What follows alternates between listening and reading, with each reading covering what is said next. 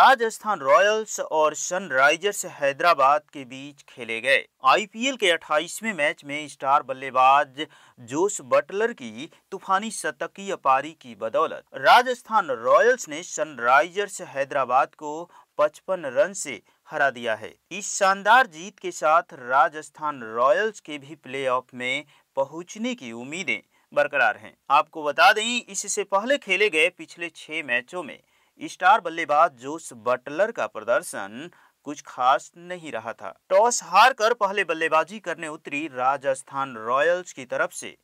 बतौर सलामी बल्लेबाज आए।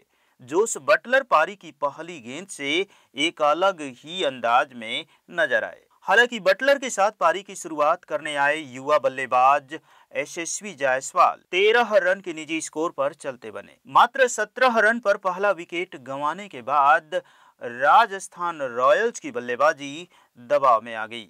इसके बाद राजस्थान रॉयल्स की तरफ़ से तीसरे नंबर पर बल्लेबाजी करने आए कप्तान संजू सैमसन और जोश बटलर ने ताबड़तोड़ तूफानी बल्लेबाजी कर सनराइजर्स हैदराबाद के गेंदबाजों के पर खच्चे उड़ा दिए। पारी के सत्रहवें ओवर में कुल एक सौ सड़सठ रन के स्कोर पर संजू सैमसन आउट हुए। लेकिन आउट होने से पहले संजू सैमसन जोस बटलर के साथ मिलकर राजस्थान रॉयल्स की टीम को मज़बूत स्थिति में पहुँचा चुके थे। सैमसन के आउट होने के बाद बौखलाए जोश बटलर।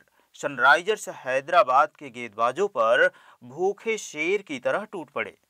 जी हाँ आपको बता दें, जोश बटलर की ताबड़तोड़ तूफानी बल्लेबाजी देखकर सनराइजर्स हैदराबाद के गेंदबाज मैदान पर ही रो पड़े। ग्यारह चौके और आठ शानदार छक्कों की मदद से जोस बटलर ने 124 रनों की बेहतरीन पारी खेली। बटलर की आक्रामक पारी के दम पर ही राजस्थान रॉयल्स की टीम 220 रनों का विशाल स्कोर बनाने में कामयाब रही। क्रिकेट विशेषज्ञों की माने तो आने वाले मैचों में भी जोस बटलर की तूफानी बल्लेबाजी का दबदबा रहेगा।